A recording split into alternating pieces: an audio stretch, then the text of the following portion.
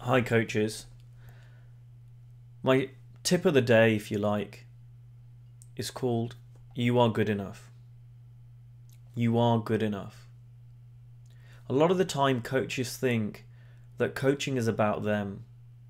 They think that whether they are successful or not, it's about them and whether they are good enough, whether they are worthy. And they make it all about themselves.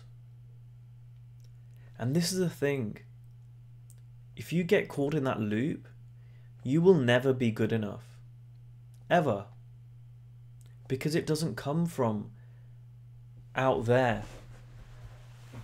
It doesn't come from what you do.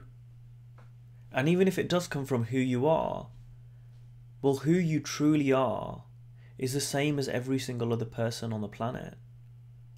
And that is good and whole and complete. So don't get caught up in whether you're good enough or not to share the principles. Don't get caught up if you're good enough or not to go and share this with a certain person or group of people. Because it's got nothing to do with that. Now, that doesn't mean you won't ever have feelings of not being good enough. I have those feelings. I, in fact, every single coach I've ever met has had those thoughts and feelings from some some time or other, and, and probably will have them for the rest of our careers at some point. However, there's a difference.